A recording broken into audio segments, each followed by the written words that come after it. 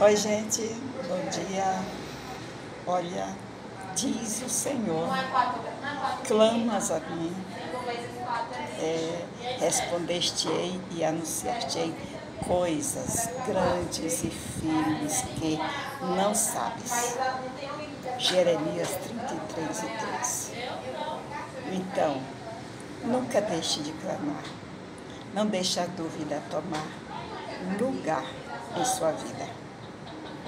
Clamas ao Senhor, porque o Senhor tem resposta maravilhosa para você, para mim, para nós todos. Vamos em frente, gente. Não detenha, não tenha medo, não te assombres, porque o Deus de Israel permanece para sempre conosco.